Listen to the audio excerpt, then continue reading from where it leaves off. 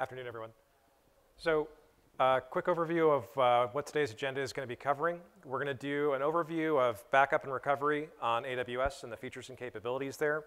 We're going to talk a little bit about using Cloud Protection Manager uh, from N2WS, a partner here to help us to do uh, um, uh, detection, recovery, and um, how they were able to integrate this workflow uh, with uh, our customer. And then we're going to dive into specifically how uh, Notre Dame was able to use N2WS for data protection and business continuity for their workload, and how they were able to integrate both the AWS platform as well as the partner solution.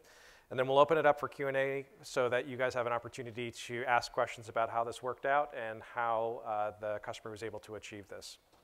So quick overview, uh, just going to talk a little bit about backup and recovery on the AWS platform.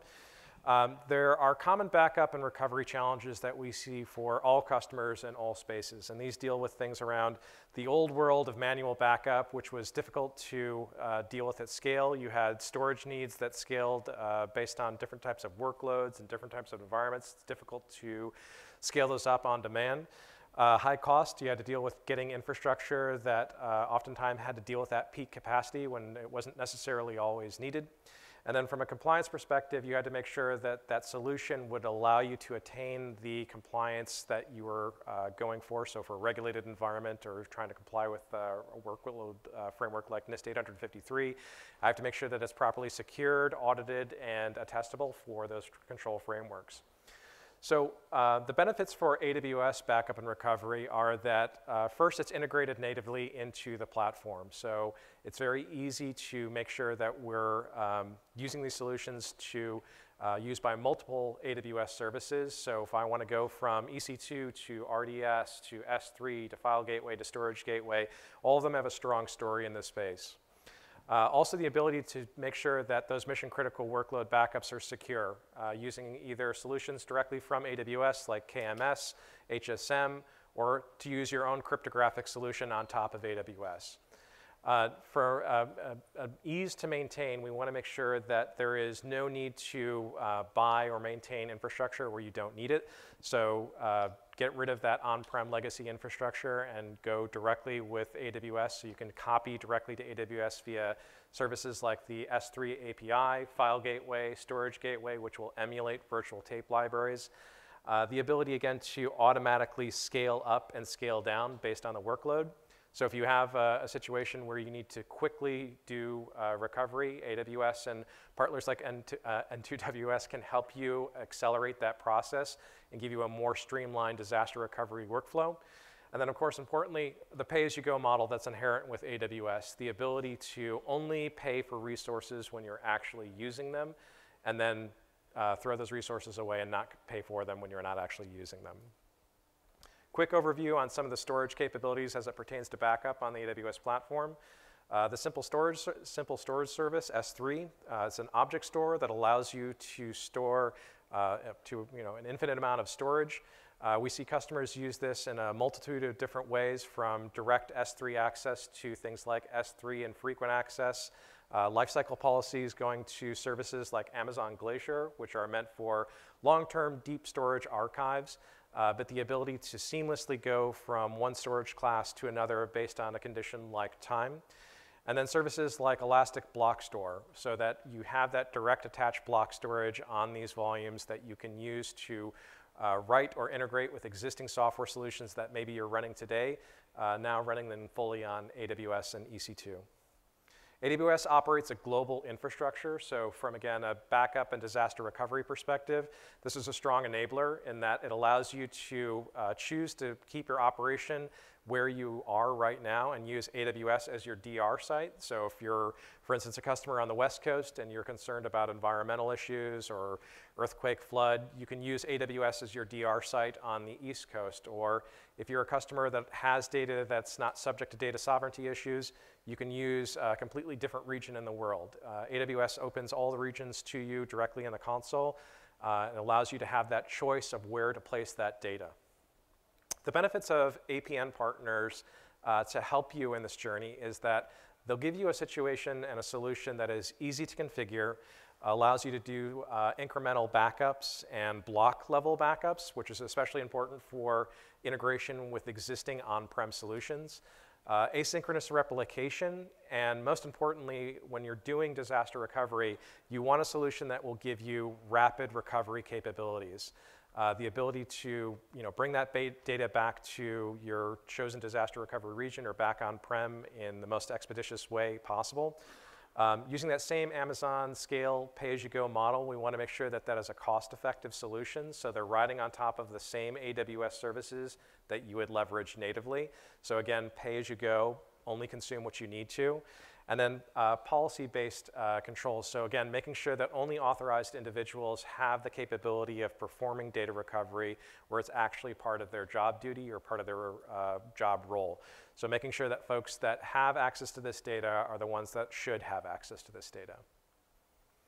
So AWS offers customers a number of uh, compliance frameworks that we offer to our customers. Uh, some of the services uh, that you can access through a tool like Artifact are SOC 1, SOC 2 reports. But the key takeaway here is that whether or not you're going for a FedRAMP ATO, a CJIS-based work, uh, workload, or you're a healthcare customer looking for a HIPAA-based compliant environment, AWS gives you the tools and technologies that allows you to securely store and use AWS as your primary data store or as an alternate data store for that backup and recovery workload. So now I want to hand things over to our partner at N2WS to talk a little bit about how their solution works and integrates and how it ultimately helped our uh, mutual customer at Notre Dame. Thanks. Thanks so much. So uh, the session title was originally called, uh, had to do with Harvard and Ron Hawkins from Harvard, but uh, you know, we're in the business of selling resilience, and the word resilience is like understanding that you know, we live in this world where we can't control everything and things go wrong. I don't know if Ron had the lo mein or quinoa salad for lunch, but he wasn't able to join us. And, uh, you know, being in the business of resilience, I really appreciated that uh, Aaron, who's another happy customer of ours, happened to be on the show floor at the right time I walked up to him, I said, one o'clock, we have this session, it's all planned, we got you guys.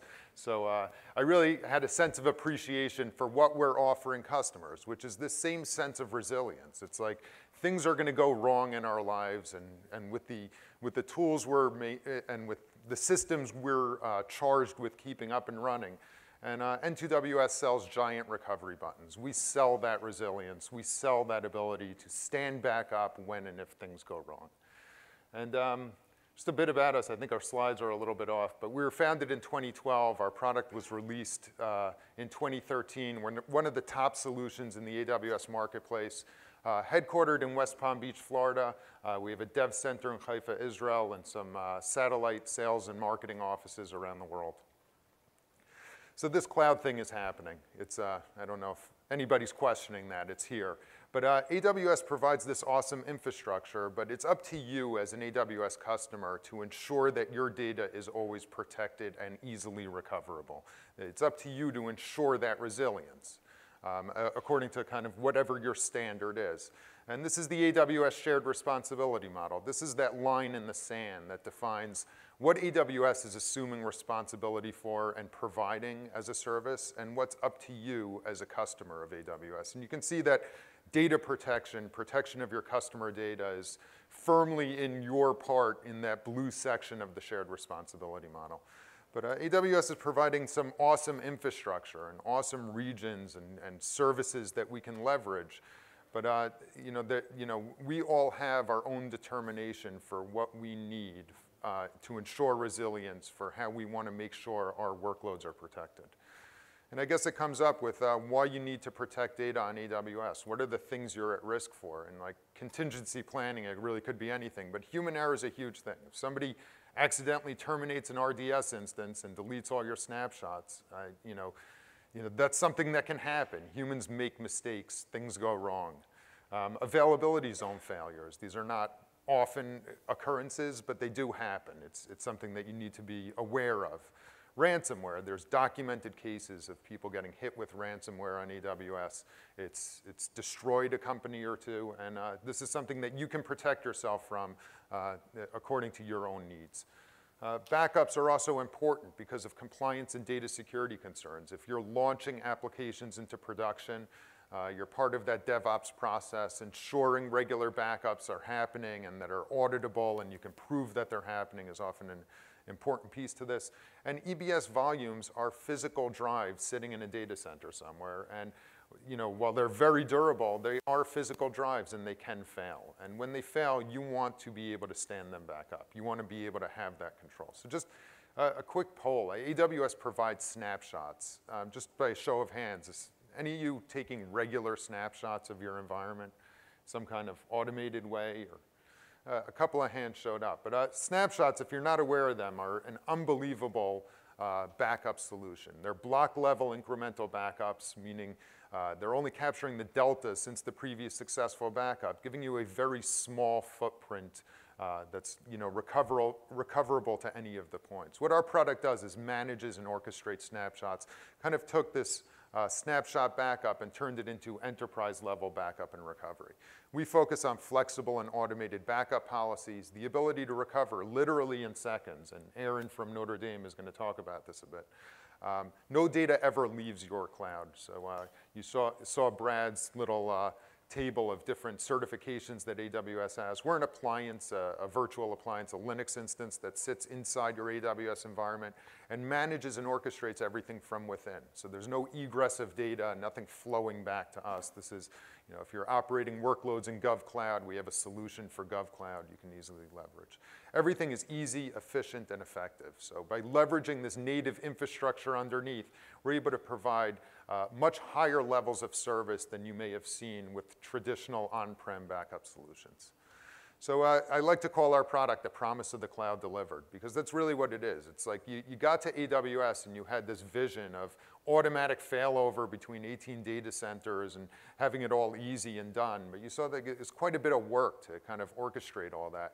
You had to be aware of some Lambda scripting and the APIs and CLIs and work with snapshots and leverage the regions.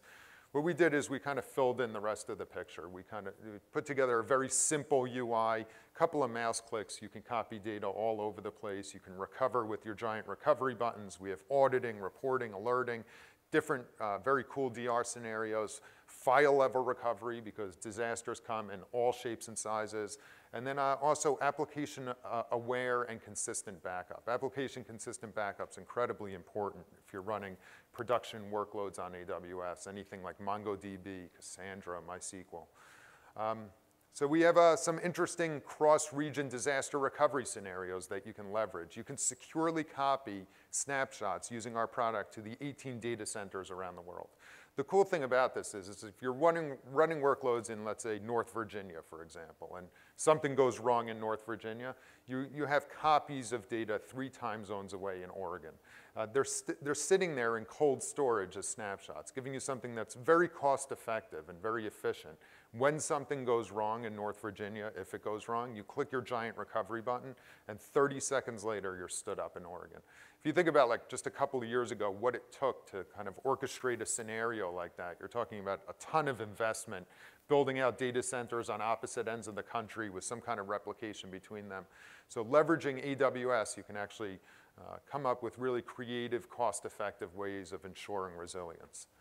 Another thing we talk about with our product is cross-account disaster recovery. So the ransomware, malware examples, you know, your account can get compromised. Some of, some of our accounts, there's many, many people that have access to a single AWS account. And some of those people, you know, we kind of look at a little weird sometimes. So um, you can set up a separate, highly secure AWS account that you copy critical snapshots to. So maybe one person has access to this, just the CTO.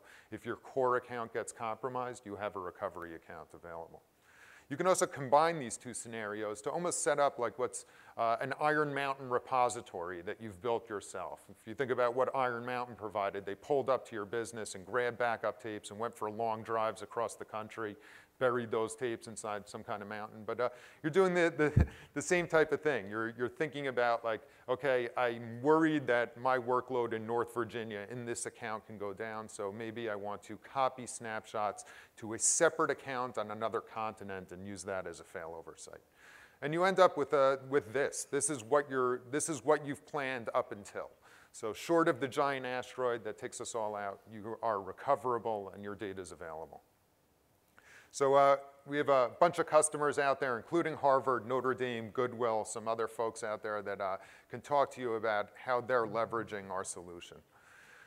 Uh, our product supports multi-tenancy, so th this is incredibly important if you're in the service provider space or if you're in, in, kind of corporate IT servicing many different departments, something like that. You can use one Cloud Protection Manager instance to support many different AWS environments, self-service options, you know, uh, you know, uh, offer this as a managed service or, or offer it as a backup as a service, so it's a very flexible solution. And uh, this is our NASCAR slide here. You can see Notre Dame and Harvard on there and Cardinal Health and a whole bunch of other folks. The thing these folks have in common is they've all made heavy investments in AWS and are thinking about resilience. They're thinking about how they make sure their environments are always up and available. Just a couple of cu customer quotes before I turn it over to Aaron. It is a very simple product. Anybody can learn how to build out a resilient AWS environment. There's no scripting required, no you know, just a couple of mouse clicks, you can get it done. Uh, we ensure application consistency for both Windows and Linux workloads. Uh, we have uh, VSS support on Windows and a very creative way of quiescing production uh, databases to get consistent snapshots. And uh, where we shine is in that recovery. What you want is a giant recovery button. When things go wrong, you don't want to be scrambling with snapshots, turning them into volumes and trying to mount them. You want something that you can depend on, that you can test, that you can drill, and that when you click on it, you know exactly what's going to happen. And uh, that's where we shine. It's an instant recovery, automated and straightforward. And so uh, what uh, Aaron's going to talk about now is how you can protect your AWS workloads with snapshots, how you can recover a single file or an environment. Uh, we also offer support for literally anything running on, on uh, Amazon EC2. Uh, Aaron can talk a little bit about the SAP implementation he has on EC2. Uh, many customers doing many creative things with this product.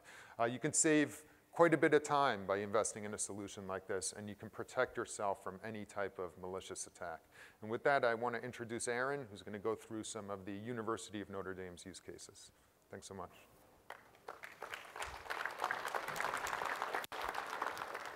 Thanks, Ezra, for the uh, introduction there. I'm going to reintroduce myself again. My name is Aaron Wright. I work for the University of Notre Dame. I've been in IT over 20 years. I've been with the university approximately about 15 years now, and I over have 24 years of military experience. So I love, enjoy coming to Washington, D.C. because I love the history of the city and I get to see the U.S. Uh, Navy Memorial as well. So what, before we go ahead, we're going to kind of give you a brief, uh, syn, uh, brief synapse of what's going on with the University of Notre Dame, who we are, uh, what's our role as a department at the university, how we implemented uh, data protection within the cloud and how we got to the cloud, and how we're uh, saving money as well. We've been around for over 160 years. It started back on a snow, cold, bitter day in uh, November of 26, 1842. A man named Reverend Edward Sorin came up from Vincennes, Indiana with seven companions. He uh, was uh, gifted from the Vincennes of the bishops of Vincent's 524 acres of land.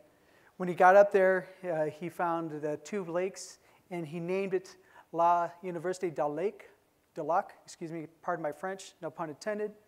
Um, that was uh, that was one of the reasons of the university and said named after our, our mother Mary. Also, we are one of the top affiliated uh, education religious uh, un universities in the United States. As of right now, we just recently ranked one of the top 15 uh, jobs in IT to work for as far as largest company out of 100 from uh, Computerworld. Office Information Technology. Who are we? We're an enterprise-wide uh, computing campus. We support large, wide enterprise scale applications all the way down to the simple things as you know, printing and computing. So one of the things that we were looking to do to get in the, the cloud is trying to reduce our environment, our, our hardware cost. And uh, we taken an analysis and we looked at how can we do that. Um, we were primarily closing our data center because of, of uh, things that we'll talk about here in a little bit. Um, and we were very coherent to, as far as presentations and delivering IT service by reducing the hardware with in our university, we can actually focus a little bit more on delivering other services to the university besides focusing on you know maintaining uh, patches on hardware for our virtualization or our storage, etc. Some of the things that we are, as of right now, we're 80% in the cloud, and uh, we plan on going to 90% at the end of the calendar year. Some of the biggest things, as you can see, as we've migrated, is our ERP system. It's called Banner. That right there is about 16 terabytes of data with four different uh, major databases, and we had to basically uh, shift and lift and shift that data out to the cloud. So one of the other things that um, we did is, okay, when we started getting our to their journey, we've we've uh, decided, okay, how are we going to do this? So the, the lift and shift the lift and shift idea was to go ahead and take our data and take it out to the cloud. Um, the other thing is, as of right now, we are running about 530 instances, and we're projected to go to about 700 instances into the um, into the into the cloud. We have over 50 AWS accounts, and most of them are not ours. Those are going to our individual colleges that have IT departments, and they are using the cloud to develop their own software and uh, services as they can provide to re- do research. University is really big on doing research as becoming a premier uh, institute, so we can actually develop, uh, excuse me, develop new ideas and not only to help the university but help the world. We primarily back up EC2 instances as of right now, but we're also doing RDS. We also do uh, SQL and um, Oracle, and those are the two of the biggest uh, applications that we back up. We primarily back up with the instances using the N2WS, and our guys that are in uh, doing the database administrators, they prefer to do their own backups within our organization. They are using RMAN and SQL's custom scripting. And those uh, basically go through to, those are going to S3 as we speak. One of the things about our journey, we're going to go back one, sorry. One of the things about our journey, how do we get there? So the journey was basically when we had a, there was a tragedy a few years ago with uh, uh, Virginia Tech. And um, we were doing an analysis and how can we how can we notify our students and faculty and staff when there's such an event? When we were doing it in um, what we called a, uh, public announcement service, we were providing that, but we went to our public announcement, public affairs office and said, what is, the, what is the least amount of downtime that you guys can have? And they said 15 minutes. And we had that shock of you know, 15 minutes, there's no way we can get them up in 15 minutes. Normally our SLA is 24 hours. So we took a step back. We said, okay, maybe the, you know, on-premise is not the best idea. What we decided to do is start looking out to the cloud. How can the cloud provide us the ability to go and uh, give us that re- uh, resiliency and that flexibility and that scalability and that cost savings and agility to provide that information or just, that provide the information gives us support to our customers. And when we started doing that journey, the journey was started out with really small. We started with our WWS services, and we started doing this lift and shift. And then we started getting to from our small services to our intermediate services, then to our enterprise services. When we got there, we were starting to, okay, what do we need to do? We can't manually or uh, script these backups for our EC2 instances and other services that are provided by AWS. So we sent, then we started looking for a centralized backup services. N2WS was the best thing at the time. We, we still use it at the time. I, I absolutely love it. Excuse me, I absolutely love it because it's easy to recover. I can get an instance back up within 30, 30 seconds to five minutes. It's remarkable. When I'm thinking 30 seconds to five minutes, that's absolutely outstanding. When I'm doing it on premise and I'm going from storage and I'm copying uh, VMware files, et cetera, it's sometimes depending on the size of your VM, it take, could take up to 30 to 45 minutes. And that's where that resiliency comes in because it's, it gives you the uh, capability of, with the AWS environment, you have uh, redundancy within your storage because you go from, uh, go, go from different availability zones. You know, if you have an outage or you have a cyber warfare attack, you have the capability of re, re, restoring your services. And within 2WS, you can restore that. The compliancy is uh, we use GovCloud too, because we do uh, research with um, government institutes and other university institutes that require sensitive data. And right now, we're running um, a separate instance out there that's for CPM to do all of our backups in that environment as well. Cost effective, you have your snapshots that reduces the, the cost in there. It's all incremental, like they were saying earlier. Uh, your full, and you have your standardization. You have that one backup solution that is centralized. You don't have to worry about um, doing your own manual backups. So, continuing on uh, centralizing, talk about enabling Notre Dame to fulfill its object of providing a true cloud uh, service. Like I said, we have that centralized backup and recovery process. Um, we also have security layers and recovery into different regional accounts. One of the things that we do is uh, when we set up policies in the AWS, like our production services, I not only have it going from one region to another, from you know, East Coast to West Coast, but also have it going to another account, a disaster recovery account, in case we do have that cyber attack and we do have our account compromised. Uh, we do granularity of single file restore, and I'll explain that to you in a scenario here in a minute. It's also reliable with the continuous of business, and it's really easy to click and deploy from the AWS Marketplace. There are some things that you may want to do when you do that. Um, from my personal experience, read the documentation, uh, using like uh, assume roles. That's an easier way to control uh, your access through your accounts and not only that, uh, does it prevent you from using access keys. One of the scenarios that we have uh, done is we ran into back in March of 2018. We were doing a patch cycle, and the Linux team ran into some issues. They had a, when they were patching the OS, they had some bad, uh, bad patches. So, uh, with the way that we did our naming conventions, with the policies, our engineers were able to go into the snapshots and recovery and find that snapshot and recover the OS within five minutes. And normally, like I said in previously, when we do it on premise, it takes a little bit longer depending on the size. It could take 30 minutes to 45 minutes.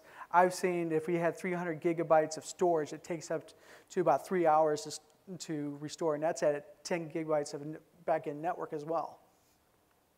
The other thing uh, we've ran into is we're using a CIFS share out in AWS, and we have people that put out files out there for their own personal WW space. And we had one professor that just lost an entire folder. So we got an incident coming in and uh, was like, all right, this is a perfect opportunity to use that single granularity uh, file restore within, uh, within Cloud Protection Manager. So I got in there and I was able to find his files within five to 10 minutes. Next thing you know, I downloaded it back onto the server, and he was back up. The customer was satisfied. Some of the things that we uh, looked at is uh, reducing the cost, and that cost is um, basically what we're doing within our AWS and, or within on premise, and how we can, like I said, restore that that capabilities of having engineers coming on, uh, focusing on other projects within AWS. We are really expanding on other services with, you know, DynamoDB, um, uh, what, WAF, the, the security, AWS security module. Um, we're doing other things as far as storage and other services that we want to provide. As of right now, like I said, 80% we're in the cloud of right now, but at the end of this year, we'll have 90% in. Uh, we would like to be 100%, but we just have to have a little bit of blueprint of hardware back at the campus just to meet our uh, SLAs. We do have, you know, some networking and some authentication, but um, we, we will be there at the end of the year, and uh, we will reduce that hardware blueprint so we will not have a lot of uh, virtualization back. Um, then eventually we're going to close that data center. That data center is going to save us cost and energy. Uh, we do have the, the Go Green initiative, and what that's going to do is we're going to be a better partner on campus and into an environment and to the community as well. So, I think that's all I have, gentlemen. Do you want to do Q and A's? Jennifer?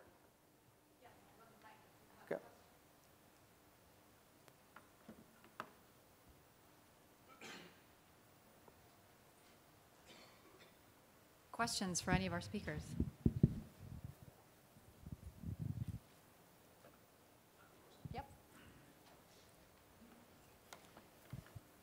First, thanks for your time today and filling in. Yeah, I was uh, when I was meeting Ezra for the first time. He goes, "Hey, I got a job for you." so, Yeah. So I was just curious, um, how frequently are you taking snaps and how long do you retain your backups? uh, we're taking snaps nightly. Uh, we retain a minimum of uh, 30 days. Our production environment runs 30 days of snapshots within our policies. We do, like I said, we do an East Coast and a West Coast uh, backup, and for our DR, we put one in our DR. Our testing in, in a development environment, we're not too much worried about it. I d we do continuously do 30 days in that environment, but we do not copy it from one region to another because we feel that we can put our production environment over there and they can um, rec- recover from there. Just a follow-up, do do you have a long-term retention requirement? And if so, how would you do that? Uh, yeah, we do have in a, basically in our Oracle environment, our Oracle environment, they want at least uh, 18 months. So they've taken the, they're using RMAN in combination of uh, CPM to do backups. And we take that info, uh, data, that database data, and we're doing that every 15 minutes. Uh, for short term, we're doing 15 minutes on backups on for the, the databases, and uh, we're doing 18 months by copying that information to an S3 bucket. Does that answer your question? Other questions? All right. Thank you to our three speakers. We'll take a short break. The next set of sessions will begin at 2 p.m.